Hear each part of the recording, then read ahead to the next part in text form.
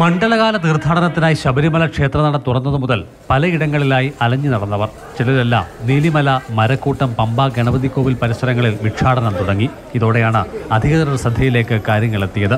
Police പരിശോധനയിൽ ഇരുപത് പേർ കസ്റ്റഡിയിലായി ഇതിൽ എട്ടുപേർ തമിഴ്നാട് സ്വദേശികളാണ്. പന്ത്രണ്ട് പേർ ബീഹാറിൽ നിന്നും ഉള്ളവർ.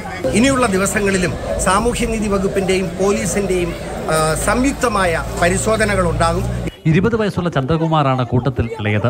തേനി സ്വദേശിനി തൊണ്ണൂറ്റിമൂന്നുകാരി കണ്ണമ്മ പ്രായമേറിയയാളും പുനരധിവാസത്തിനായി അടൂർ മഹാത്മാ ജനസേവന കേന്ദ്രത്തെ സാമൂഹ്യനീതി വകുപ്പ് സമീപിക്കുകയായിരുന്നു.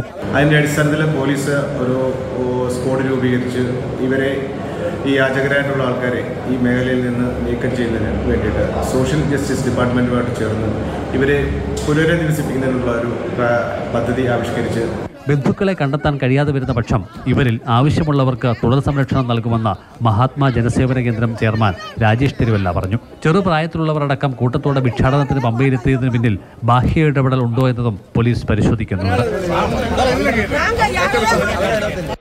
മാതൃഭൂമി ന്യൂസ് പത്തനംതിട്ട.